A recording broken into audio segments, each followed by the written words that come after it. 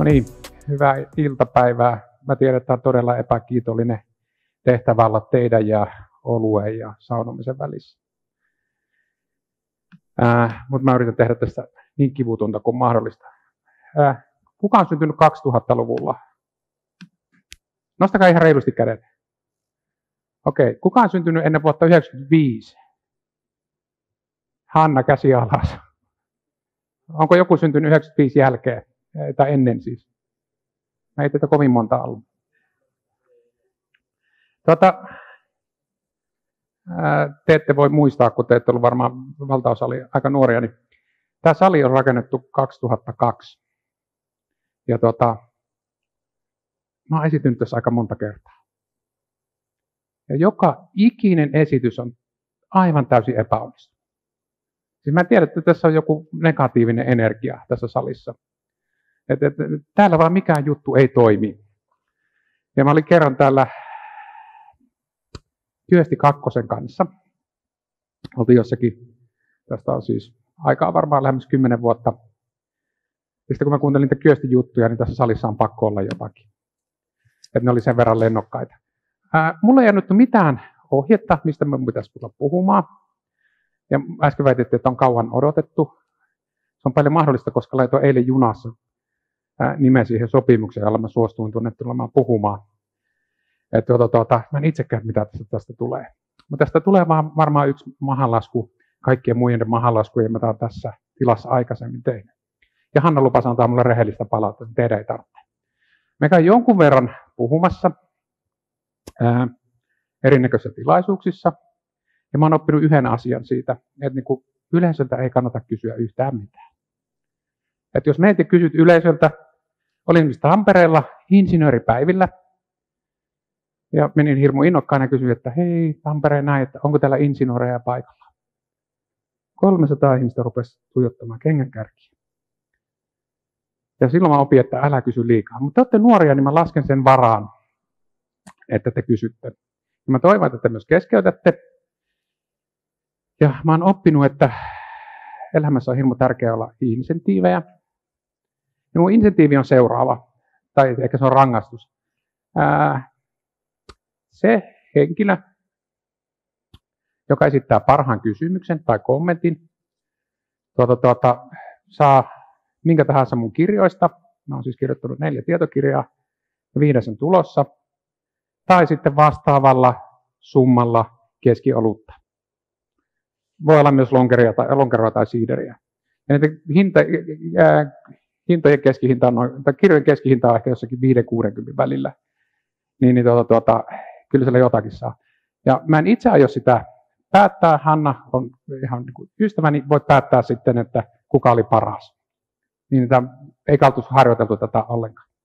Hyvä, oletteko ymmärtäneet? Ei se mitään. Tota, jos on jotain kysyttävää tai kommentoitavaa tässä vaiheessa, niin tota, voi aloittaa. Ihan vaan nostaa käden ja mä sitten tota, pysähdy. Kuten huomaatte, jos ihminen kohtelee itselleen kaikkein rakkaampia, eli lapsia, omia lapsiaan tällä tavalla, niin voitte arvata, että millä tavalla se kohtelee esimerkiksi työntekijöitä tai yrityksiä, johon sijoittaa. Tota, jos haluatte pilata päivänne, niin otatte Twitterin ja menette tonne ja lisäätte minut seurattavaksi. Mulla meni viime viikolla 30 000 seuraajaa rikki. Ja en ole siitä ylpeä, koska ne sisällöt ovat olleet, mitä ne ovat olleet. Vihapuhetta. Mutta siis tänään mä ajattelin, että kun mulla ei ole mitään ohjetta, että mitä pitää puhua, mä ajattelin puhua sellaista asiasta, joka on läheinen ja rakas mulle, eli minusta itsestäni. No ei todellakaan. Tota, tänään me puhutaan, kuten ensimmäinen kalve sanoi, että unelmat on pettymysten kivijalka. Ja mä kerron teille Miksi unelmat on pettymysten kivijalka? Ja mä tulen kertomaan myös, että miten välttää sen, että pettyy elämässä aivan täysin. Ja teillä on se hyvä puoli, että teillä on niin kuin, ns. Niin kuin elämä edessä.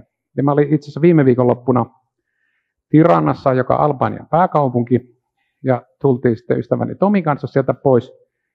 Ja oltiin Frankfurtin lentoasemalla jumissa. Ja tuli oma mieleen vaan, kun to, Tomi puhuu eläkeiästä, että katsotaanpas paljon meillä on elämää edessä.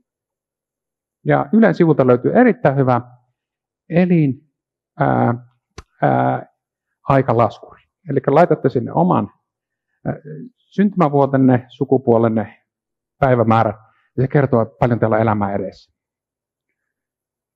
Ja tuota, tuota, mulle se kertoi seuraavaa, että mulla oli 27 vuotta ja 9 kuukautta. Mä mietin, että onko se paljon vai vähän, mutta sitten mä niin kuin, suhteutin sen siihen, että mä täytin juuri 50, ää, eli kahden vuoden päästä alkaa mun elämän viimeinen kolmannes. Ja ää, tullaan tänään puhumaan onnistumisesta ja menestyksestä. Ja mä vähän peilaan sitä omaan ikäni. Mutta hei, ei kannata ryhtyä pessimistiksi. Tiedättekö, miksi ei kannata ryhtyä pessimistiksi? Haluaako joku arvata? Tämä on se harjoittelukysymys. Nämä vaikenee tämän jälkeen. Anyone? Hei, täällä on 20 000-luvulla syntyneitä ihmisiä. Kuka ei nosta kättä ja sitten meillä on vähän kokeneempaa polvea. Ole hyvä. Ja täältä tulee tämmöinen box mic, niin yleisöstä, jos kysytään kysymys, niin ottakaa box mic käteen ja siihen voitte puhua. Joo, eli arvaukseni on, että jos ryhtyy pessimistiksi, niin kaikki ihan menee sitten ihan päin persettä. Aika lähelle. Ei kannata ryhtyä pessimistiksi, koska ei sitä kumminkaan mitään tulee. Ja tuota, pessimismi elämäaiheena on semmoinen, että tuota, ihan äskettäin Tampereen yliopistossa valmistui tutkimus sepelvaltimotauti potilaista. Ja kävi ilmi, että kun joka ikinen muu muuttuja poistettiin ihmisen terveystiedossa, niin pessimistillä on nelinkertainen todennäköisyys kuolla sepelvaltimotautiin. Ja sepelvaltimotauti on niin kuin miesten, tai tälle yleisen kuolin syy. Että jos rupeat pessimistiksi, sitä ei kumminkaan mitään tule. Sä kuolet paljon aikaisemmin. Ja tota, mä oon harjoitellut pessimismiä neljässä eri kohdassa tässä työurani aikana. Mä oon siis tullut tänne tiedepuistoon vuonna 1996. Nyt mä voisin kysyä, että kuka niitä teistä olikaan syntynyt ennen vuotta 1996? Teitä ei montaa ollut. Noin viisi, kuusi. Joo. Ää, ja meillä oli suuri hinku ja tavoite silloisen yhtiökumppani Tervo Jannen kanssa ruveta yrittäjiksi. Ja tehtiin aluksi auton lohkolämmittimen kauko-ohjausjärjestelmä pienväjänniten verkossa. Kukaan ikinä kuullut auton lohkolämmittimen pien, ää, tai kauko-ohjausjärjestelmästä verkossa? Ei kukaan. Siitä ei tullut mitään. Sen tehtiin tietokoneiden lukituslaitteita, sitäkään ei tullut mitään. Ja sitten me lähdettiin IT-alalle. Mitä tapahtui IT-alalla? Ää, me saatiin sijoitus heinäkuussa 99 500 000, anteeksi, 3 miljoonaa markkaa silloin, 500 000 euroa. No se koko helvetin IT-kupla kaatu. Me oltiin just menty softabisnekseen. Ja Kari Hotakainen, joka on hyvä kirjailija, sanoi, että kun hän oli toimittaja, hän halusi kirjailijaksi, niin hän ensimmäisenä rupesi kirjoittamaan tuota, tuota, ää, runoja. Ja Hesari julisti kulttuurisivulla, että runous, runouskirjallisuus tai runokirjallisuus Suomessa on kriisissä. Sitten Otakainen siirtyi seuraavana lasten ja nuorison kirjallisuuteen, jolloin Ylen kulttuurimakasini sanoi, että lasten ja nuorten kirjallisuus on kriisissä. Ja sitten seuraavana hän kirjoitti ensimmäisen romaaninsa Buster Keatonin elämästä, joka on todella erikoinen kirja. En, ei ole lukuvinkki. Kuinka ollakaan taas kerrottiin, että Suomessa romaanikirjallisuus on kriisissä. Ja mä, mä tulin siis tota, IT-alalle, kupla puhkesi, kaikki meni mönkään. Itsekin oltiin menossa konkurssiin. Todella vaikea. Sitten seuraavana mä olin juoksemassa juoksumatolla ää, New Yorkissa, kun telkkariskriinissä tuota, tuota, pyöri joka kanavalle todella tylsä ohjelma, jossa ihmiset kantaa pahvilaatikoita. Ne oli pahvilaatikoita ja ne käveli toimistosta pois. Sitä oli kuvattu eri kuvakulmista eri kanavilla. Mä en mitä helvettiä tapahtuu. Että miksi ketään kiinnostaa laatikoiden kantaminen. Ja siinä päivänä kaatui Lehman Brothers, josta alkoi finanssikriisi. Mä en yhtään osannut ajatella, että me oltiin saatu se, mä olin siis tiedon hävitysalalla, joka on muuten melkein yhtä jännittävää kuin katsos, että seinällä kuivuu maali. Melkein yhtä jännittävää. Niin, niin tuota, tuota, oltiin saatu se firma pyörimään. Mä en ole ikinä kuullutkaan Lehman Brothersista. Mä en usko, että kovin moni Suomessakaan oli kuullut, koska se oli ihan eri maailmaa. Lehman Brothers kaatui, siitä päästiin sitten tuota, finanssikriisiin. Ja mä en tajunnut sitä, että Lehman Brothers kun kaatui, niin pari kuukautta siitä, niin meidän firman käytännössä lähes kaikki rahat oli yhdysvaltalaisen Vakovia pankin tilillä. Ja sitten tuota, Tianse Sari, joka meidän talouspäällikkö oli, tai talousjohtaja, niin että meidän pitäisi vähän nostaa sieltä jenkkitiltä rahaa, kun me oltiin kerrytetty sinne rahaa koko ajan, tuota, kun ei oltu varma, että miten dollari ja euron kurssi menee. Ja näytti, että se dollarikurssi oli vähän huono. Ja Vakovia pankki ilmoittaa, että me ei voida maksaa teille. Heillä ei ollut likviditeettiä. He ei pystynyt maksamaan. Silloin kun elämäni ensimmäisen ja viimeisen tota, panikikohtauksen Tokiossa 2008 syksyllä, oli niin sanotusti vähän synkempi hetki. Hetki tuolta, tuolta kaiken kaikkiaan. Ja siitä päästiin vähän eteenpäin. Kelataan, pikakelataan eteenpäin. Sitten me saatiin korona. Ja nyt tämä viimeinen neljäs ää, isompi kriisi, mitä käydään, on sotaa. Ja joka kerta, kun nämä neljä juttua on tullut, niin unelmat on ollut pettymysten kivijalkaa. Ja tämä viimeisin kriisi, eli tämä sota, niin se on tietysti generoinut inflaatiota omalta osaltaan, nostanut lainojen korkeaa ja muuta. Ja mä, mä tein juuri yritysexitin, josta äsken sain alakerrassa puhelun, että saat rahat huomenna. Huomenna niin kuin rahapäivä. Ihan, ihan ok, ok tuota, päivä sinänsä. Mutta kun ruvettiin myymään sitä yritystä, meillä oli sellainen perusajatus ja unelma, ää, ajatus, että, tai unelma, että se yritys tullaan myymään hintaan, joka on sanotaan 12-10 kertaa se liikevaihto. Ja mä olin vähän niin kuin Paavo Arhimäki, että mä olin, että nyt tulee rahaa.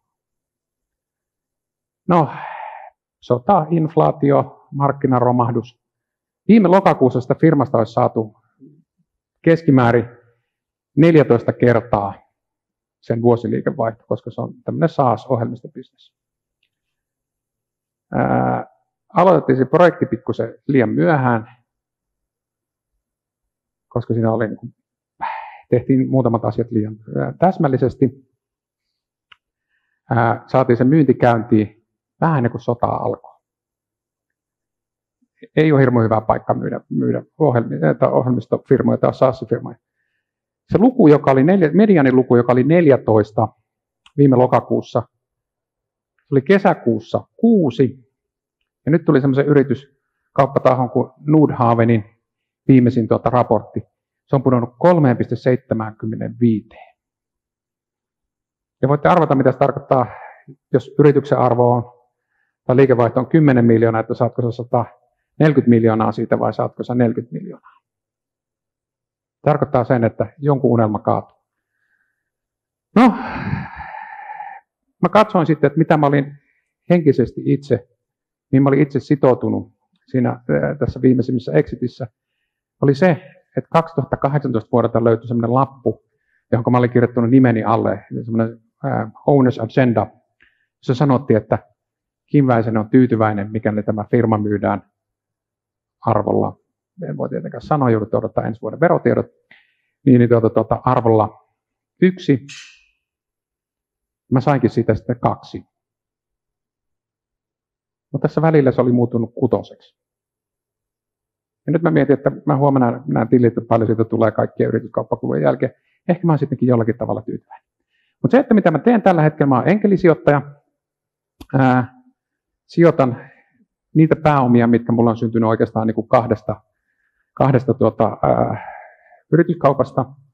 Plankossa mä olin tuota, toimitusjohtaja, perustaja, ja sitten mä olin semmoisen kuin Framerin puhelinkoppifirma. Tuota, tuota, ää, Moisassa, mä, mä lupasin, että mä vien tämän tiedepuiston avaimen, joka on mulla ollut vuodesta 1996 tai 1997. Ja nyt mä muistan, että mä en vienyt sitä. Ja nyt se tuli ihan, mä annan sen tämän jälkeen. Joo, ei ole pakko. Arvaa annan, kun sillä pääsee ihan joka paikkaan. Siinä on sellaiset käyttäjäoikeudet, jotka on, nyt on peruttu näköjään. Ei ole oikeuksia. Pääseekö saunaan? Okei, no niin, ei millään muulla ei mitään väliä. Mutta siis, että ah, itse asiassa tämä kaveri tässä, se on hämmentävää uskoa itse, kun katsoo tätä. Mä etin tästäkin arkistosta tämän kuvan. Mutta siis tämä on vuodelta 1999. Niin, niin tota, ää, mä olin yrittäjä tässä firmassa, joka oli Blanco. Sitten mä olin hallituksen puheenjohtaja sijoittaja yrityksessä ää, Frameri. Frameri on niin kuin iältään melkein startup-firma. Tota, firman perustamista tuli just 12 vuotta toissapäivänä, se oli, tota oli sopimuspaperit tai niin kuin jätetty kaupparekisterin toiminta oli alkanut myöhemmin. Frameri vie tällä hetkellä noin 75 prosenttia Suomen ää, huonekaluliikevaihdosta, Suomen huonekaluviennistä. Se kertoo, että miten anemista suomalainen huonekaluvienti on kaiken kaikkiaan. Mutta siis että näistä kahdesta mä oon saanut sitä pääomaa, ja kun mä oon tämä enkelisijoittaja, niin kuin täällä aikaisemmin sanottiin, niin mä oon tehnyt nyt suurin piirtein sata rahoituskierrosta. Ja rahoituskierroksia puhutaan tiketteinä. Mitä tiketti tarkoittaa, että se on niin kuin sijoituserä. Ja tota, ää, mä oon hieman yli 30 yrityksessä mukana. Ja mulla on semmoinen tyyli, että kun mä menen johonkin firmaan, laitanpa siihen 50 tonnia tai 100 tonnia tai 200 tonnia, mikä tahansa summa on, mä heti henkisesti alaskirjaan. Mä katson, että se on menetetty. Koska yhdeksästä kerrasta kymmenestä se on täysin menetetty. Tämän päälle mä oon sijoittanut startup-rahastoihin, ja ne, ne kun on finanssivalvonnan tuota, tuota, piirissä kaikissa maailman maissa, missä ne toimii, niitä on siis Suomen lisäksi esimerkiksi niin Virossa, Espanjassa, Ruotsissa, niin joutuu aina antamaan todella tarkan semmoisen raportoinnin, että miten niillä firmoilla on mennyt. Ja yksi, ensimmäinen niistä pääsi maaliin, eli se rahaston ää, tuli loppuun. Ja se mun, mun kannalta se lopputulos oli ihan ok, koska mä sain siitä joku rahat kaksin tai kolmikertaisena. Se oli sellainen lista. Ja yksi X tarkoittaa, että saadaan takaisin se, joka on laitettu rahaa. Ja tuota, tuota, siinä on 5 tai 16 yritystä, niin meni tälleesti, että tämän rahaston sijoituskohteet on tuottanut seuraavasti. Siinä luki, että 0x, 0,5x, 0x, 0x, 1x, 125x, 2x, 0x, 0x. Ja sitten tuli 23,7x. Käytännössä kaikki se rahaston toiminta, mikä oli, niin se oli tasan tarkkaan yksi, yksi tuota yritys, joka sen toi takaisin. Ja se oli Small Giant Games. Jotkut on varmaan pelannut heidän pelejä. Aivan valtava hieno homma. Ja me, jotka oli sijoitettu siihen, niin saatiin rahaa takaisin. Mutta se osoittaa sen, että, että niin kuin jos teillä, onko jollakin yrittäjyyshaluja? Nyt on kaikki, nyt on hyvä. Älkää tehkö sitä. Unohtakaa koko ajan, se on ihan helvetin vaikeaa. Tänäkin vuonna Suomessa perustetaan noin 30 000 yritystä, ja noin 30 000 yritystä lakkautetaan. Ja näistä rahastoista, jotka sijoittaa esimerkiksi startuppeihin tai aloittavia kasvaviin yrityksiin, 5 prosenttia tuo 10 vuoden aikana enemmän kuin 3x. Ja 3x on oikeastaan se, niin kuin se lattiataso, että kun sä otat huomioon, että vaihtoehtoiset sijoitustaivaat, se riski, mikä siihen on sitoutunut ja miten epälikvidiä on ne on, niin periaatteessa jokaisen rahaston pitäisi tuottaa 3x. Yksi 20 tekee se. 5 prosenttia. Vieläkö joku haluaa yrittäjäksi? Hyvä. Jotka haluaa yrittää, tehkää muiden rahoilla. Ei omilla rahoilla. Se on se mun pointti. Ää, täysin sanoa, että mä oon kirjoittanut neljä kirjaa. Viides on tulossa, joka on tuota, Suomen huonommat päätökset. Ja mä oon vähän aikaa täällä selkä, kun mun esitys loppuu, niin tuota, voitte tulla kertomaan, mitä teidän mielestä on huonoja päätöksiä. Mutta oon kertoa, että teidän ikärakenteella ylivoimaisesti huonoin päätös on vuonna 2005 eläkeuudistus ja mä kirjoitin siihen kirjaa, joka kirjoitan muuten Anto Terraksen kanssa, joka on Suomen, Suomen roastmasteri ja vittuilu erikoismies. Me päätettiin, että se tietokirjan sisältötyyli on vittuilu. ja se onnistuu aika hyvin, koska meillä on luontaisia kykyjä siihen, niin, niin teidän ikäisten ihmisillä pitää olla kolme asiaa, että te päästä eläkkeelle. Ensinnäkin teillä pitää olla Aira, Samulin geenit. Kaksi, teidän pitää olla, teillä pitää olla Dannin kestävyys ja stamina. Ja kolme, teillä pitää olla Tauskin viinapää. Muuten te ette terveenä tule pääsemään eläkkeelle. Se on vaan niin semmoinen fakta. 2000-luvulla syntynyt eläkeikä tulee nousemaan ihan, ihan kohta, niin alin eläkeikä 70 vuotta. Kannattaa pitää itse terveenä. Mä oon voittanut kaksi tasavallan presidentin kansainvälistyspalkintoa, ja sen palkinnon, joka on muuten tommonen, ja se on tuolla Plankon toimissa. Takakana on Tarra kirjoittamalla suurin piirtein kirjoittu. Tällä pääsee linnan juhliin. Vittu kaksi voittoa eikä yhtään kertaa linnaa. Mä oon päätellyt, että Sauli Niinistö seuraa mua Twitterissä. Sitä ei mikään muu selitä. selitä. Mutta mä oon myös tehnyt kaksi konkurssia tähän mennessä. On ollut mukana kahdessa konkurssissa. Ja nyt päästään siihen opetukselliseen osuuteen, eli mä oon kehunut itseäni. Olisiko jotain kysyttävää tässä vaiheessa? Ole hyvä. Catchbox takarivi. Niin, ja box Maikki. Miten sun pää on kestänyt tämän kaiken? Aika huonosti. Mä sairastuin tämän vuoden maaliskuun lopulla vestipolaari neuroniitti, eli mulla meni tasapaino. Ja se on semmoinen niin kuin, sairaus, jossa sä et tiedä mikä se on. Sen oireiden mukainen hoito on kuoleman pelon poistaminen.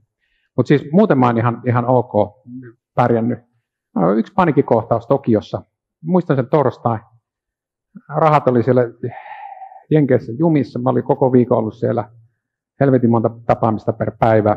Jetlagi, väsymys, kaikki muu. Mä hyppäsin perjantaina kotiin ja tulin Joensuuhun, ajoin Joensuusta tuonne kesämökille Paakkilaan Tuusniemen puolelle. Katoin viikonlopun kodassa tulta ja mä pääsin sillä yli.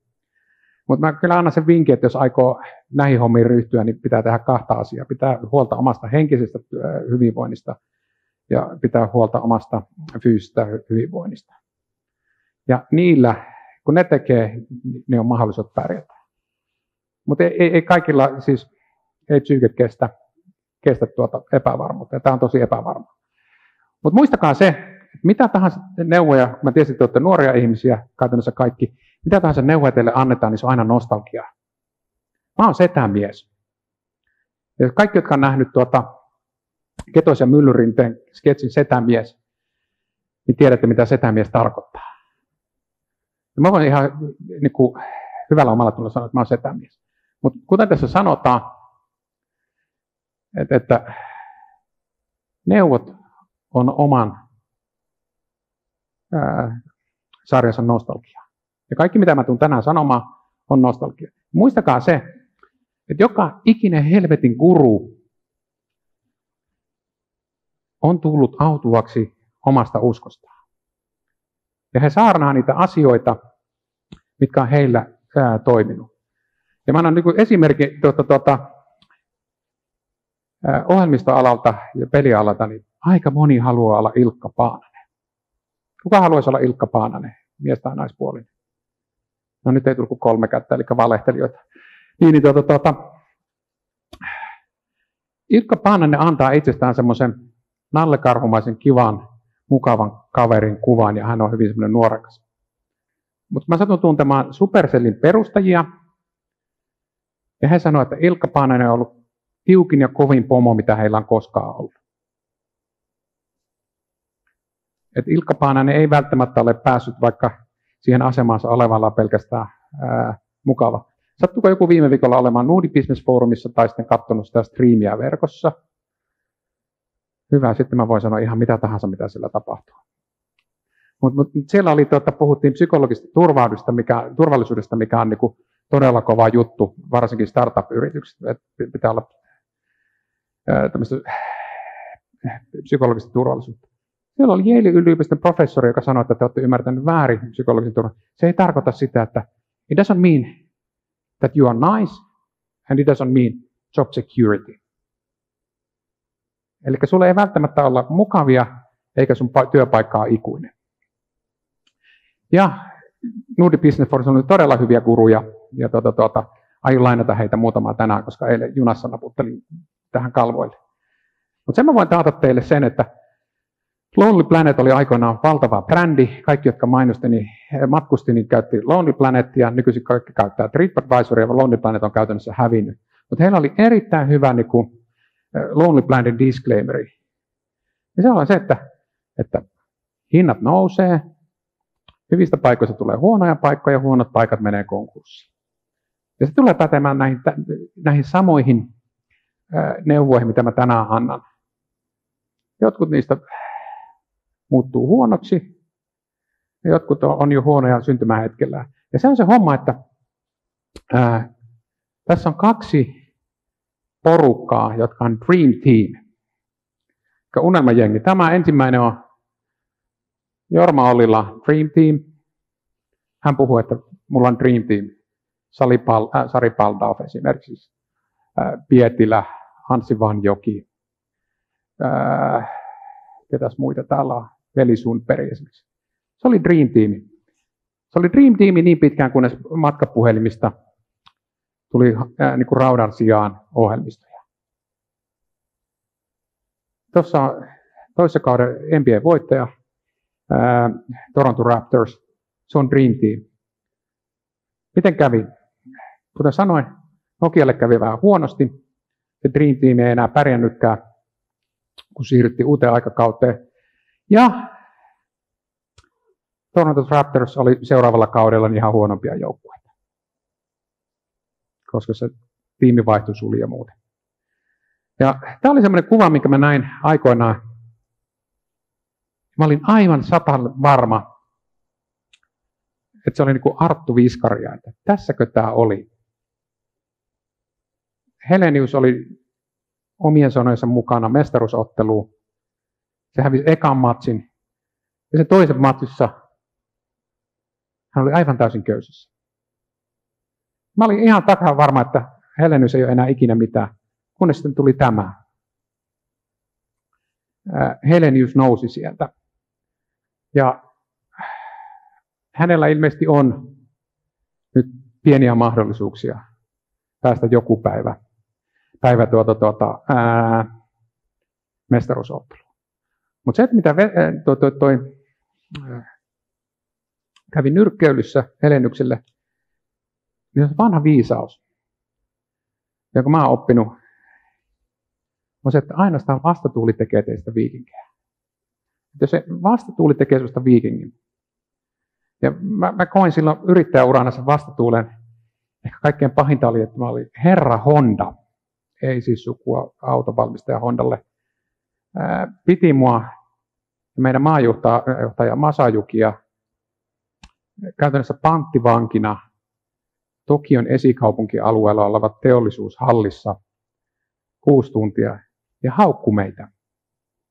Siinä oli Excel-lista, siinä mä en tiedä, on varmaan sata itemia. Ja viimeinen oli vielä, niin kuin, että olette vielä saatana tyhmiäkin. Mutta hän listasi joka ikisen asian, mitä me oltiin tehty väärin siinä asiakkaassuhteen, mitä meidän lupauksissa oli väärää, mitä tuotteessa oli väärää, mitä, mitä hinnoittelussa oli väärää. Hän otti meistä niin sanotusti tuota, niin sanotusti mehut irti. Pahinta oli, että me tultiin se Masoikin kanssa, tämä on siis aikaa ennen kuin oli Uberia tai oikeastaan mobiili-internetiä ainakaan siinä paikassa. Tultiin ulos sieltä tehdashallista, joka oli vähän kaukana juna-asemalta. Rupesi vettä satamaan ihan hirveästi. Me tiedettiin, että me kassutaan aivan täysin, kun meidän piti lompsia se varmaan pari kilsaa sinne juna-asemalle. Niin katsottiin vaan noin kanssa toisiin. Me sanottiin, niin stereona, että let's get fuck out of here. Mutta se loppu, niin kuin mitä siitä sitten tuli, oli se, että se herra Honda oli, oli tietyissä asioissa oikeassa. Että se täällä Joensuussa kehitetty ohjelmisto ei ollut ehkä hirmu hyvä kaikilta osin.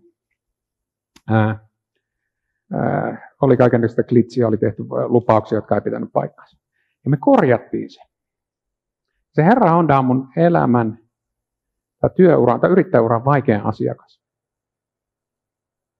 Mutta se teki minusta firmasta, sitä meidän Japanin tuota, tytäryhtiöstä, teki meistä kaikista parempia. Se oli todella tuskallista. Et, et, opinnoissa voi tuntua jotkut jutut vaikeilta ja ne ei mene eteenpäin ja graduohjaava vai hän niin ei ymmärrä sitä sun hypoteesia tai jotain muuta. Mä lupaan, että teillä on isompia vaikeuksia edessä. Ja niistä vaikeuksista, että jos jaksatte pitää jollakin, jossakin synkimmällä hetkellä, kun mikä ajatella, että hei, vasta tuli tekee viikinkejä, teistä tulee parempia. Jotkut varmaan opiskelee rahoitusta. Jos haluatte oikeasti oppia, pärjätä sillä alalla, niin hakeutukaa New Yorkin töihin. Maailman kovin paikka rahoitusalalla. Mä tiedän, kun mä itse nykyisin Eveli, Pankin tota, osa-aikaisena työntekijänä. Tämä on hyvin osa-aikaista, eli mä teeskentelen työntekoa ja he teeskentelee palkanmaksua. Niin silloin kun niitä tyyppejä, jotka on niin käynyt sen, että ne tekee vuodessa sen, jos Suomessa keskimääräinen työaika on 1600-1700 tuntia, ne on tehnyt sitä 3500 tuntia. 10 tuntia päivässä, 6 päivää viikossa. On siellä helvetin hyviä smartteja kavereita, miehiä ja naisia. Koska if I can make it there, I'll make it anywhere. Että jos on pärjännyt New Yorkissa rahoitusalalla, pärjäätte missä tahansa muuallakin. Viihteessä, menkää Yhdysvaltain länsirannikolle, ihan varmasti tulee oppia. Et jos tuntuu se kotimainen kilpailu tai pohjoiskarjalainen kilpailu vaikealta, niin se asettuu oikeaan kontekstiin, kun menee vähän kauemmas. Ja se, että, että täällä oli muutama, jotka halusi olla niin kuin yrittäjiä, tämä pätee yrittämiseen, mutta pätee niin hyvin, hyvin moneen muuhunkin elämän osa-alueeseen, tämä, että unelmaton pettymisten kipujalka. Et sä oot niin Sisyfus, kreika, kreikkalaista tarusto. Oli se kaveri, joka pieritti kiveä ylös vuorelle, aina kun se pääsi sinne vuoren huipulle se kivi, niin totta kai se putosi toisesta puolen pois. Ja tuota, se ongelma on se, että, että tuota, tuota, mitä tahansa te elämässä päädytte tekemään, te päädytte tekemään ihan helvetin paljon turhaa työtä. Turhaa duunia, turhia kokouksia. Ja mulla on ollut tänään siis kaksi hallituksen kokousta ja yksi tapaaminen. Ja kokouksethan on niinku, oikeastaan niinku, hieno vastapaino töiden tekemiselle. Ja mun duuni, on taas, että mä teen tätä startup-sijoittamista pääsääntöisesti, minun pitää tavata ihan hirveästi ihmisiä. Ja jos mä oon nyt tehnyt sen vähän 30 firmaa ja 100 kierrosta, niin 30 firmaa vastaa. Mä sanon, että mä oon tavannut varmaan 500 firmaa. Koska se on alle 10 prosenttia. Se voi olla tuhatkin, ja mä en ole laskenut. Niin, niin tota, mä oon joutunut sen turhan työn tekemään.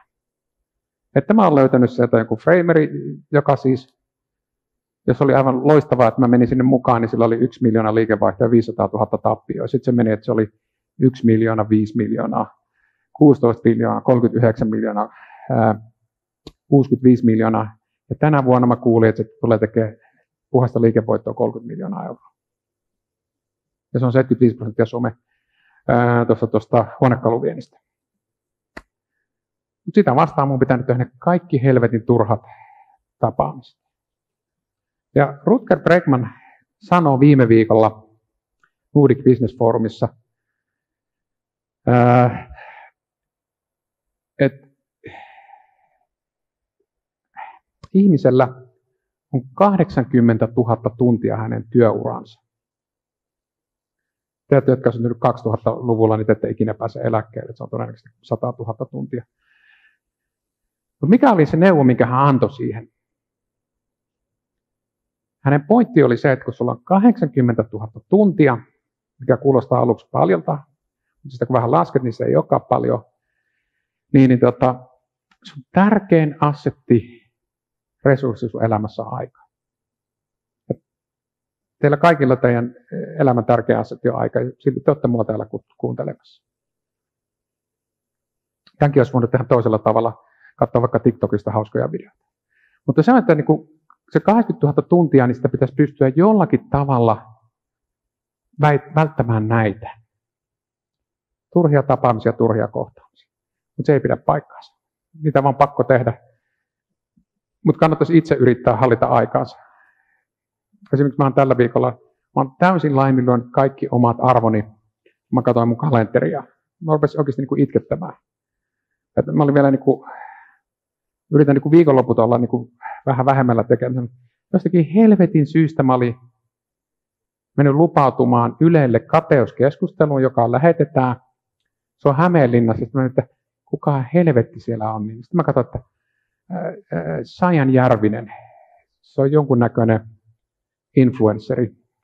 Muistin vain ainoastaan hänestä, että on heilu jossakin videossa ilman paitaa. Sitten siellä oli tuota, tuota, Harri Syrjänen, julkiskokki, yksi urheilija minä. Mä en ole ihan varma, että oliko se niin kuin tuon 80 000 tunnista, että jos mä käyn Hämeenlinnassa ja siinä kumminkin menee vähintään se puoli päivää lauantaista. Oliko se parasta ajankäyttöä? Ei tarvii vastata, ei varmasti ole.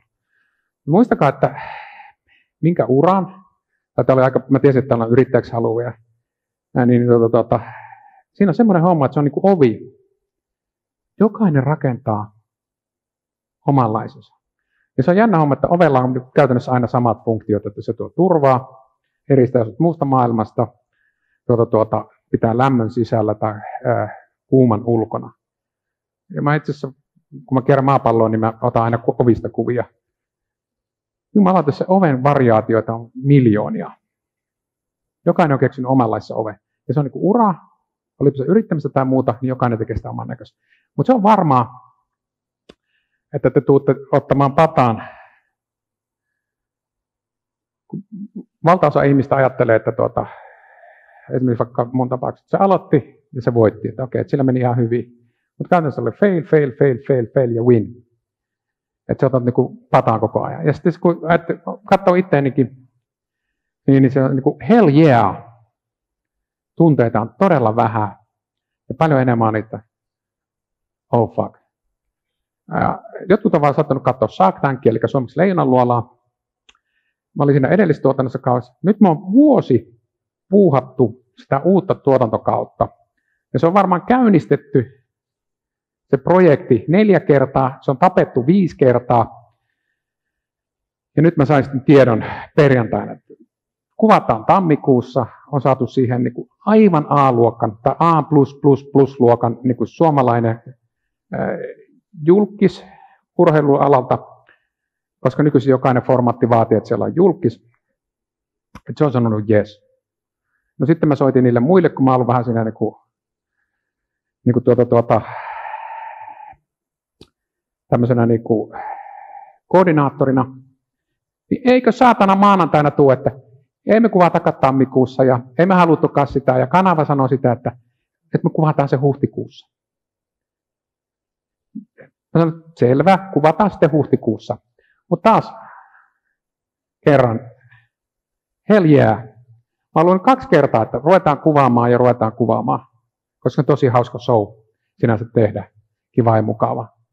Ja mä tiedän, että kun nyt pitäisi olla kick-offi lokakuussa, lokakuussa sanoi, että ei, että katsotaan tammikuusta kick-offia, että kuvataankin ensi syksynä.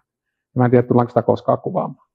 Koska viime kerralla, kun se tehtiin, niin se teki niin helvetisti tappia, se oli melkein 100 tonnia per episodi, ja ne ei saanut myytyä sitten makkarapakettimainoksia sinne, niin varmaan teki kuokkaa 550 pinnaa. Mutta kanava on sitoutunut.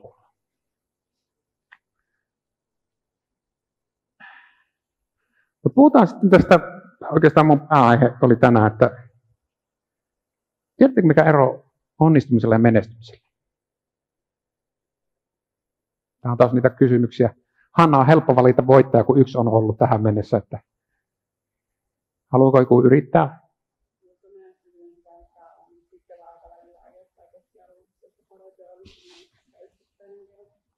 Tuo oli hyvä, että, että menestymisen ja onnistumisen ero on niin kuin ajallinen. Ei ole ihan se.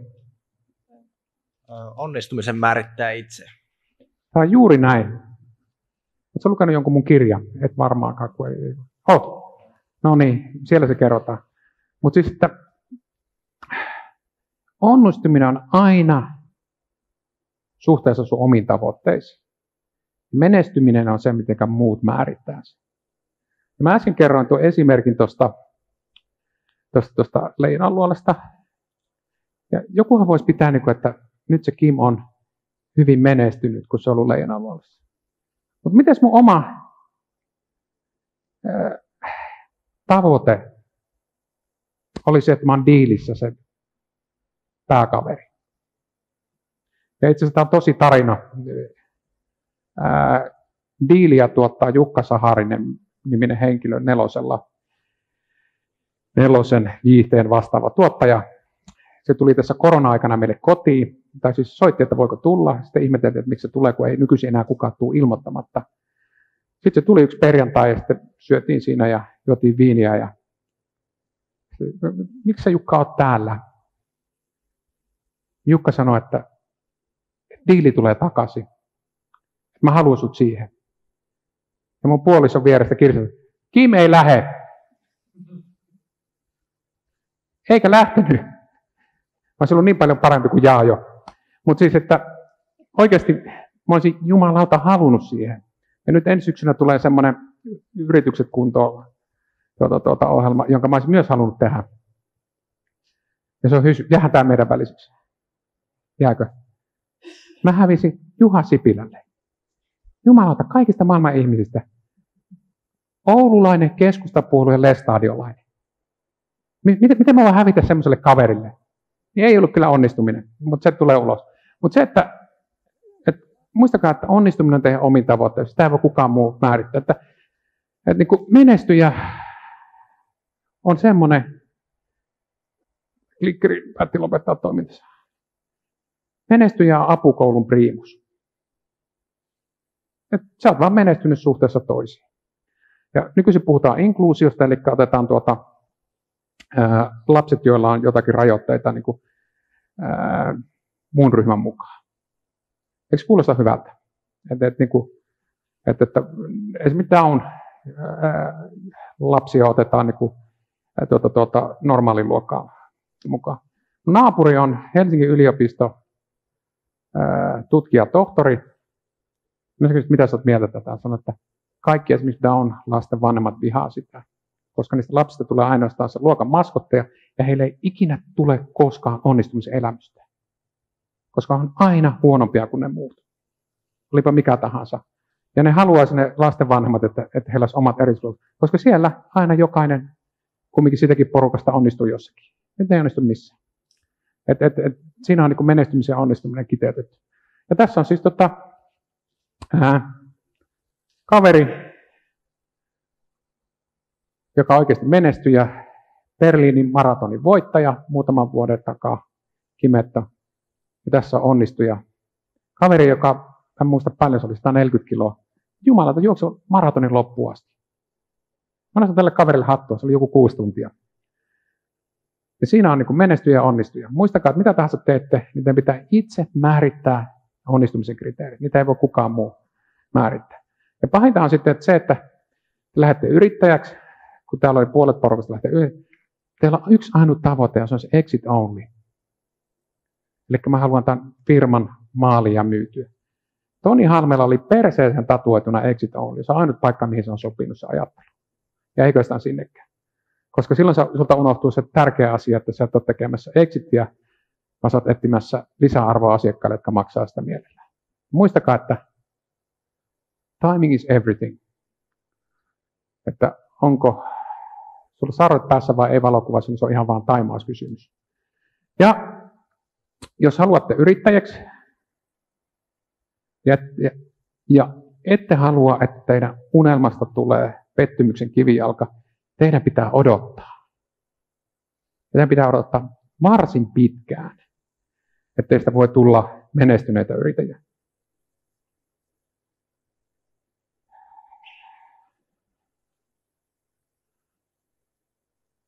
Yhdysvalloissa, kun katsotaan nopeammin kasvavia yrityksiä, niin, niin tota, heidän tuota, toi, toi, toi, he ovat keskimäärin 45 vuotta, siis nopeiten kasvavat. Ja startup-yritysten perustajien keski menee 42. Eli kun nyt kun te olette 20 plus, mä annan teille erittäin hyvän vinkin. Jos te haluatte mennä jollekin toimialalle yrittäjäksi, menette sinne samalle toimialalle johonkin muuhun firmaan töihin, eli teille maksetaan palkkaa, te saatte kokemuksen ja sitten te saatte vielä niin kuin kontaktit. Ja sitten teistä tulee menestyviä yrittäjiä. Ja tästä on siis äh, iso tutkimus tehtiin tuolla Jenkeissä. Sen otsikko oli, että 20 year old founder is a lie. Nuoret eivät perusta menestyviä yrityksiä. Niitä on ihan muutamia satunnaisia ja hassuja, jotka on niin päässyt siihen, siihen että tuota, ne on tuota, nuorena perustaneet menestynyt. Esimerkiksi niin kuin, energia- ja öljyalalla kaikkein menestyneimmät yrittäjät on sellaisia, jotka perustaa se 50. Ei, ei ole mikään kiire. Ajatelkaa, että tämä on niin kuin viikko- tai kuukausirahaa. Joku maksaa mulle rahaa siitä, että mä opettelen tämän duuni. Sitten lähdette yrittäjäksi. Se on kaikkein parasta. Mutta sitten mä voisin sanoa, että Ilkka Paananen, Mikko Kodisoja esimerkiksi, tuota, tuota, Volt, niin, niin tuota, ne on tuonut hirvittävän paljon yrittäjähaluisia ihmisiä, jotka lähtee yrittämään vain sen rahan vuoksi. Ja tuota, tuota, monella on aika huono idea, mutta halutaan vain yrittäjäksi. Abraham Lincoln sanoi, että tuota, voi, osa ihmisiä voi aina huijata, ja kaikkia voi huijata vähän aikaa, mutta sä et voi huijata kaikkia kaiken aikaa. Koska siinä on semmoinen homma, että numero yksi, toi, toi yritysten tappaja, on se, että sun yritysidealle ei ole vain yksinkertaisesti kysyntää, sillä ei ole tilausta. 42 prosenttia maailman firmoista tuota, tuota, kuolee, että no market need. Ja mä joskus yritin miettiä, että mitkä on maailman typerimmät ideat. Minusta tämä kengän sateenvarret oli kyllä aika korkealla. Tämäkin oli vielä kaiken lisäksi, niin kun se oli saatu rahaa ja se oli patentoitu. Ja patentointi maksaa niin kuin Yhdysvallassakin kumminkin kymmeniä kymmeniä tuhansia. Kengän sateenvarret. Ja kun Jiri, eikö ollut teille aikaisemmin puhumassa? Joo. Mä en tiedä, minkälainen kaveri se on, mitä se sanoo täällä, mutta toivon, että hän sanoo kauniita asioita. Mun mielestä niin kuin, äh, junior jääkiekkoilu äh, tilasto-ohjelma, se on kengän sateenvarjo. Se on ihan yhtä typerä idea. Mä hävisin 257 000 siinä. Mä muistan sen erittäin hyvin, koska laitoin 200 tonnia aluksi, sitten se laitoin 50 tonnia, että se pysyy pystyssä. Ja sitten mä joudun jumalata 7 tonnia laittamaan, että mä saan sen firman konkurssiin. Koska sillä ei ole rahaa mennä konkurssiin, kun jos ei mene konkurssiin, niin sä saa luovutustappioita. Mä sanoin Jirille, että voi olla, että ei kuule ihan heti tehdä hommia yhdessä. Menee vuosi, niin se soittaa, että mulla on uusi idea. Mä no, mitä sä olit tarjota? Ilmalaiva tehdas. Mä olen ylpeä ilmalaivatehtaan omistaja tänä päivänä. Siis, et, et se, mä, mä, mä en tiedä, miten se sai mut siihen. Ja mä nyt toivon, että tämä onnistuu. Mutta toisaalta jotkut saattaa tuntea kaverin nimeltä Tahvanaisen Erik. Mä oon Erikin palkannut kolme kertaa. Mä palkkasin Blankkoa. Se dumppas mut. Palkkasin Kierkeeriä. Se lähti yrittäjäksi toimari, tai no, myyntijohtaja se taisi olla siihen, se dumppas mut. Ja oli se toimiranakin jossakin vaiheessa. Sitten mä toisin Juubrettiin, ja siinäkin se mut vielä petti.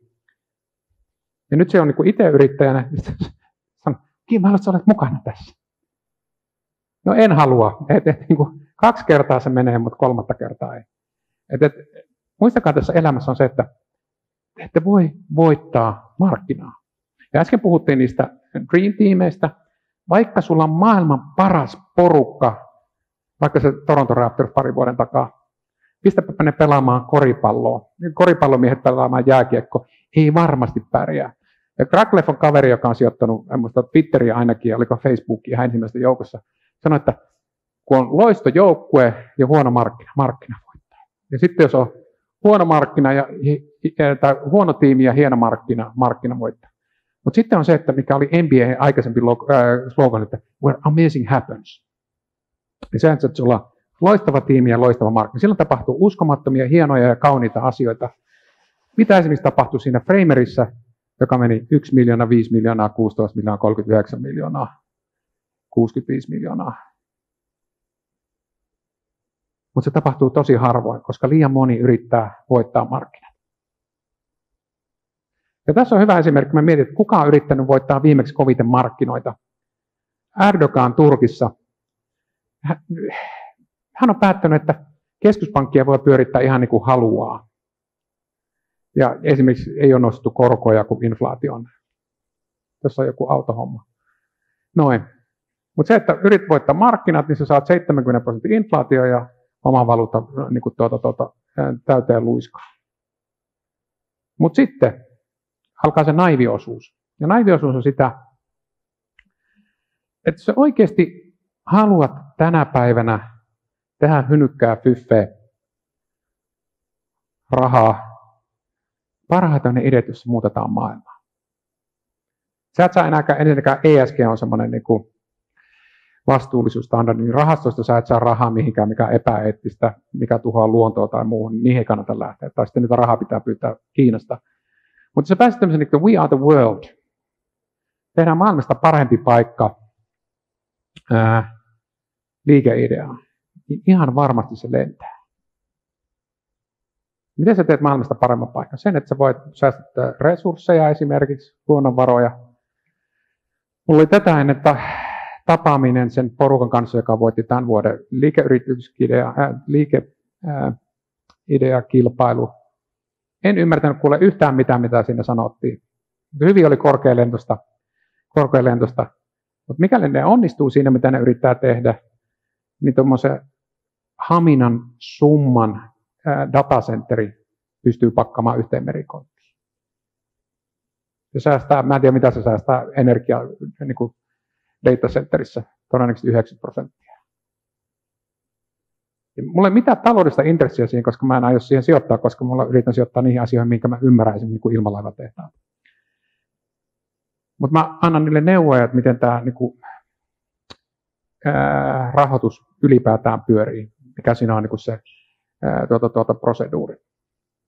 Mutta älkää niin kuin, käsittäkö väärin, mitä te tahansa teette elämässä, niin te pitää aina saada markkinahinta siitä.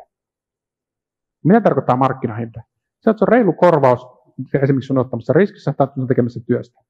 Koska muussa tapauksessa se on hyvinvoinnin siirto sinulta sun työnantajalle, tai jos olet yrittäjä, niin yrittäjänä se on hyvinvoinnin siirto sinulta sinun ää, tuota, tuota, asiakkaille.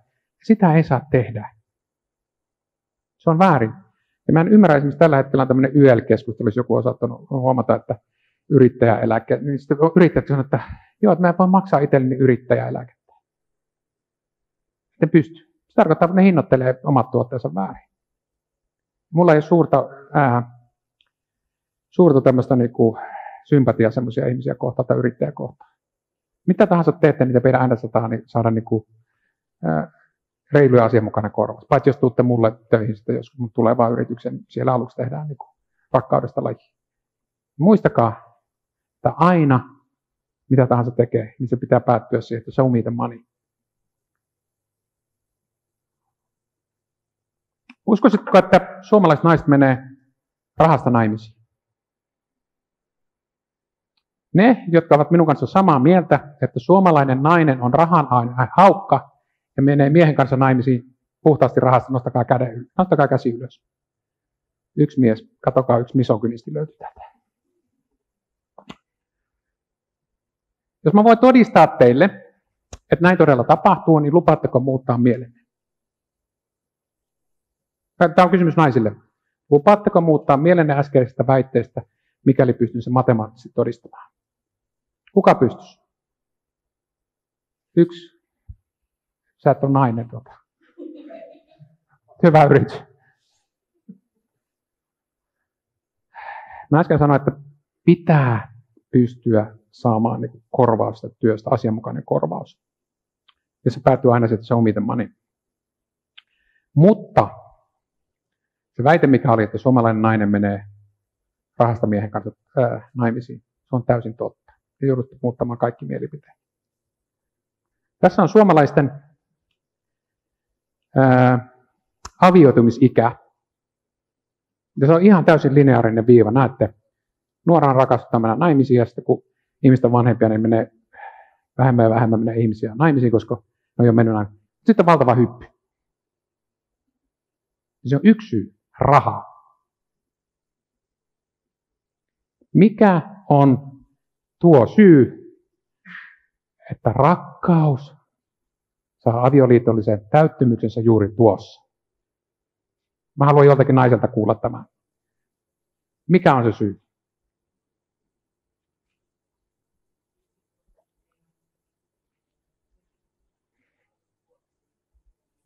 Se oli aivan oikea vastaus. Se on lesken eläke. Mies kuolee aikaisemmin. Siis tilastollisesti mies kuolee aikaisemmin. Mikäli et ole naimisissa, et saa lesken eläkettä. Mä oon siis täyttänyt 50 mä naimisissa. Mulla on monta ystävää, jotka on niinku eronnut ja karannut täällä. Ja tässä he puhuu, että nyt on kotona puhuttu sitä, että mennä naimisiin. Koska jos menet päivänkin yli 50 naimisiin, et ole oikeutettu lesken eläkkeeseen. No niin, kysyn kysymyksen uudestaan. Ketkä uskovat seuraavaan väitteeseen? Suomalainen nainen menee miehen kanssa rahasta naimisiin. Nostakaa kädet. Kolme miestä, kaksi naista.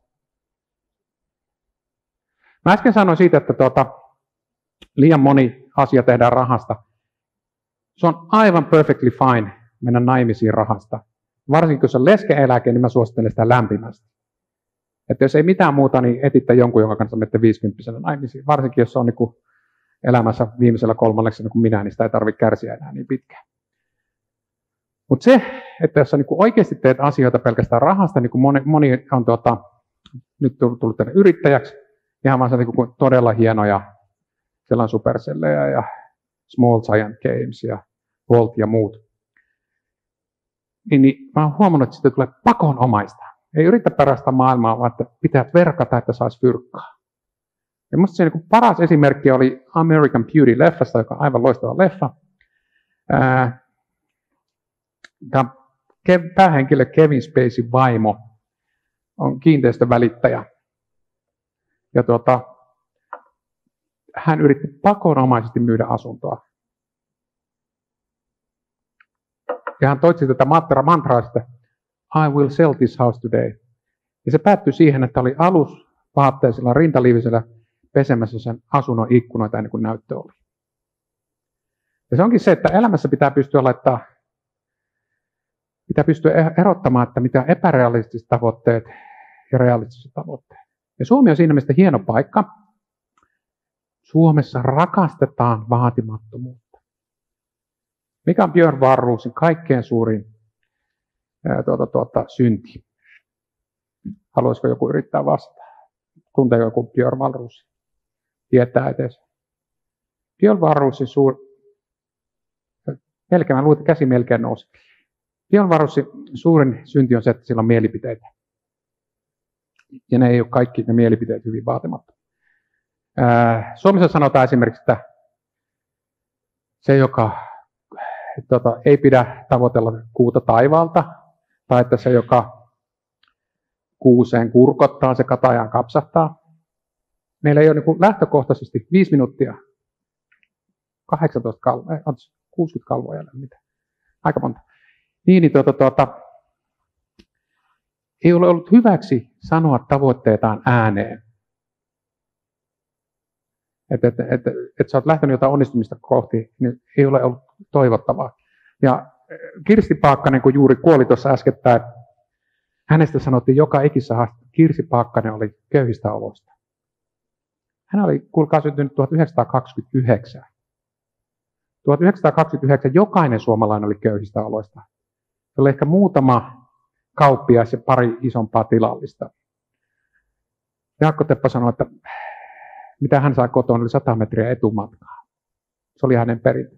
Minusta on ihan kiva, että meillä on näitä Voltin kaltaisia onnistumisia jotka ehkä vähän tasoittaa teidän tietä siihen, että te voitte rohkeammin kommunikoida, mitä te haluatte saavuttaa. Niin kuin Voltissakin ei ollut mikään matala tavoitetaso. Mutta se, että jos haluaa olla menestyksekäs, pitää tietää, mitkä on omat rajoitteensa. Mä olisin maailman huonoin diplomaatti. Suomi ja Ruotsi olisi sodassa, jos mä olisin diplomaatti. Jos mä olisin kirjanpitäjänä, mä asuisin joko pahamalla tai sitten mä olisin vankilassa. Siinä on niin ne vaihtoehdot. Muistakaa, että katsot, että mikä ero on projektilla ja prosessilla. Ja mulle on ollut todella tärkeää, että mua on auttanut siinä omalla tiellä tähän asti se, että mä oon tajunnut, että, että mikä on projekti, projektista hyvin intensiivisesti tehdään jotakin, ja sitten se on maalissa. Ja sitten on prosesseja. Esimerkiksi se oli erittäin hyvä kysymys, niin että miten oma pälli on mullakin kestänyt. Se on prosessi. Se on koko elämän kestävä prosessi, vaikka liikunnallinen elämäntapa, tai että sä luet kirjoja, tai sä kävelet metsässä, tai sä teet jotakin mielekästä ystävien kanssa. Ei ole sille, että mä nyt teen tässä kuussa tätä ja sitten ensi kuussa en tee ollenkaan. Lopuksi pari varoituksen sanaa. Mähän varoitin, että älkää uskoko kuruja, koska he kaikki tulee omasta uskosta autuaksi. Mallalla on tämmöisten motivaatiopuhujen illuusio. Ja mihin se perustuu? Se on, että, että trust yourself. Luotat itseesi, niin se riittää. Ei riitä. Se vaatii substanssiosaamista, sun pitää kouluttautua, sun pitää oppia asioita, sulla pitää olla kontakteja. Kummalle sydänkirurgille te menette? Semmoiselle, joka ei käynyt minkäännäköistä koulua, mutta uskoo itsensä, vai siihen, joka on vähän epävarma, mutta kävi yliopisto ja sen päälle erikoistu kymmenen vuotta. Kaikki valitsee sen viimeisen. Koska se, että mä luotan itseeni, ää, kirurgi, ei voi olla hyvä. Tähän voi luottaa kyllä itsensä. Älkää uskoko, että riittää se, että uskoo itsensä. Koska paperiteos on minusta paljon kaikkein parhaiten tuota kiteyttänyt. Vaikka miten uskoo itteensä, niin voi silti olla ihan paska. Ja sen takia on tärkeää käydä koulunsa, ää, lusia ja pakolliset jutut. Koska ihmisen elämä ei ole disruptiivista. Tämä on siis Oscar Labs on kaveri, mutta oletko mä katson hänen nimensä. Oscar Korkman, Alice Labs. Niin hän sanoi, että ihmiset muuttaa todella hitaasti loppujen lopuksi käytöstään. Se on totta. Ja firmat muuttaa vielä hitaammin käytöstä. Että jos te lähdette todella nuorena jollekin alalle yrittäjäksi, ja te kuvittelette, että nyt disruptointa ala, niin et varmaan tee. Koska siellä on niin monta asiaa, jotka on sua vastaan. Esimerkiksi corporate governance viime kädessä, niin yrittää estää firmaa antamasta rahoja mihinkään. Sen takia mun pisin myyntiprosessi oli Orix Rentec-nimiselle japanilaiselle Japanin suurin leasingfirma alkoi vuonna 2000 heti kaupa tehtiin 2008. Oli varmaan 16 kertaa siinä matkan varrella tappamassa itse, että sitä ikinä tuu mitään.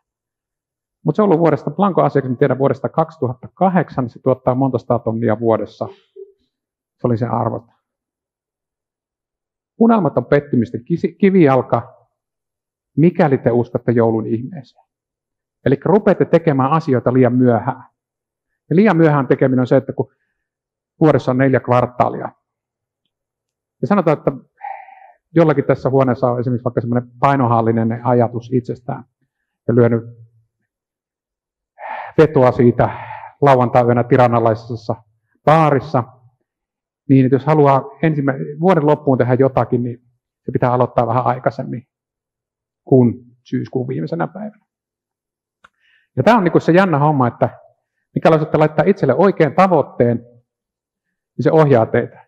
On paljon helpompaa juosta kolme tuntia maratonissa, tai kolme, kolme tuntia yksi minuuttia, kolme tuntia 31 minuuttia, tai neljä tuntia yksi minuuttia kuin neljä tuntia. Silti valtaosa ihmistä juoksee tänne. Miksi? Koska ne on tavoite. Ne haluaa päästä alle neljän tunnin. Ja siinä on se tavoitteiden voima, eli ne ohjaa sut oikeaan paikkaan. Ja, ja tuota, toi, toi Lasse Viren voitti 72, vaikka kaatu ainoastaan sen takia, että se kaatui tarpeeksi aikaisin. Kun te nuoria ihmisiä, teidän kannattaa nyt ottaa pataan ja tehdä kaikki mahdolliset virheet tässä matkan varrella.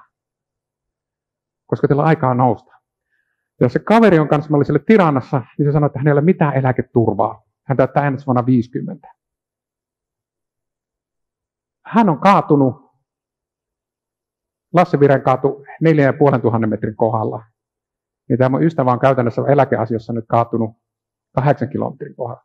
Sillä on ihan helvetin vaikeaa viimeisen 15-17 vuoden aikana takossa homma kiinni. Mutta kannattaa pitää mielessä se, että ei ole kumminkaan koskaan liian myöhäistä. Mä oon ylpeä tästä kuvasta, koska tuossa otin selvää, niin 45-vuotiaana oli varakkaampi kuin Warren Buffett. Tuota, Warrenilla on sen jälkeen vähän mennyt, mennyt vähän paremmin, että mä en usko, että mä kirin sitä kiinni. Ja elämä ohjaa hedonistinen adaptaatio, eli te tuutte aina ää, sopeutumaan niihin parempiin eliomaloisiin, parempaan palkkaan, parempaan, parempaan yrittäjyyteen.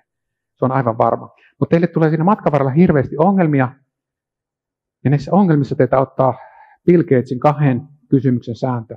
Se, että kenellä muulla on ollut tämä sama ongelma ja mitä me voidaan oppia siitä. Ja Suomen etu on siinä, että Suomi on todella matala hierarkia maa. Tämä väittäisin, että jokainen teistä, jos te haluaisitte tavata esimerkiksi vaikka Risto Siilasmaan, niin te pääsisitte tapaamaan Risto Siilasmaan ja kysymään heiltä johonkin ongelmaan esimerkiksi ratkaisua tai neuvoa. Koska suomalainen yhteiskunta toimii jo niin. Olipa tavoitteena onnistuminen tai menestyminen, 9 prosenttia on sitä, että tulee vaan paikalle. Mä aikoinaan yritin tuota, kiteyttää kaikki maailman suuret liikejohdon oppaat ja sanoin, että mä oon päässyt kolmeen sanaan. Tee jotakin toisin. Artti Aurasmaa, joka on ammattijohtaja, niin se katsoi mua pääkallelle ja sanoi, Kim, aika löysä kiteytys. Sanoit kolme sanaa, monta tuhatta sivua. Tee jotakin toisin. Artti sanoi, että ihan useimmiten riittää vaan se, että tee. Ja se on se juttu, että pitää tehdä asioita. Ikävä kyllä osa niistä on täysin turhia, niin kuin mä sanoin.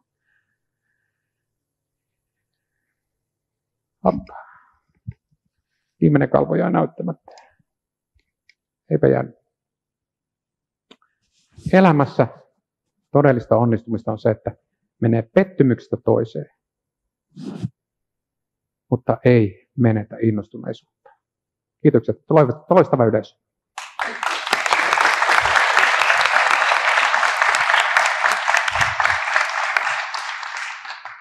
Kiitos Kim Väisänen. Me ollaan saatu tänään monia eri perspektiivejä, mutta varsinkin tämä, että silloin esityksen aikana mainitsit esimerkiksi tuosta, että onnistumiset ja menestykset, niin nekin on asioita, joita tavallaan ei ainoastaan omalta kohdalla voisi sanoa, että se, se menestys määritellään joskus toisenkin näkökulmassa. Niin onko sulle esimerkiksi tullut sellainen tilanne, että sä oot onnistunut jossakin ihan hirmu hyvin, mutta jostain syystä se sitten ei ole nähty menestyksenä niin täältä yleisön tai julkiselta puolelta, tai onko kenties käynyt toisinpäin tämmöinen hassu juttu? Joo, monesti luulee, että itse oli hyvä esimerkiksi esiintymistilaisuudessa. Sitten sanoin, että oli muuten aika paskaa, että paperit oli ihan oikeassa. Äh, muistakaa, että se tunne on subjektiivinen. Se on sun omakohtainen. Ja tuota, tuota, kyllä niitä tulee vastaan. Ja siis, tiedätte, koulussa on tämmöinen MOVE-testi, jossa juostaan viivoja. Ja mun poika on viidennellä luokalla ja hän tuli sieltä, hän oli todella pettynyt ja mä kysyin, mistä olet pettynyt. Ja sitten sanoi, että jos hän olisi tiennyt, että hänen pitää jostain yksi viiva enemmän, niin se olisi saanut kaksi pistettä. Hänellä ei ollut niin kuin mahdollista kolmeen, mutta hän sai oliko 27 viivaa. Ja tuota, tuota, ää, 28 olisi saanut kaksi pistettä. Mä kysyin Harant, että yritkö Aaren parhaas? Onko niitä 5 vai 6 testiä? Sanoin, että kaikissa muissa yritin parhaani, mutta siinä olisi päässyt vielä vähän parempaa, jos olisin vain tiennyt. Niin se, että jos epäonnistuu, mutta on niin kuin antanut parhaansa, se riittää. Koska valtaosa asioista kumminkin elämässä epäonnistuu.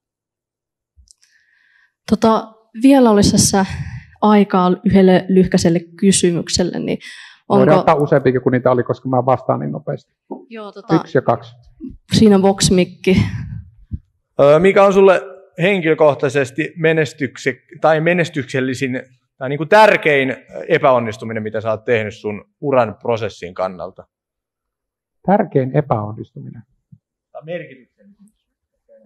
No mä oon laiminlyönyt itseäni ja mä tajusin, että se oli todella väärin. Ja siitä mä kyllä opin, että itsensä pitää pitää jollakin tavalla kondiksessa. Ja paljon puhutaan arvoista. Ihmiset sanoo, että terveys on mun arvo esimerkiksi. Sitten mä kysyn, miten se niin toteutuu se elämässä. No ei mitenkään. Että arvo ei ole mitään muuta kuin mielipide, jos ei maksa sulle jotain.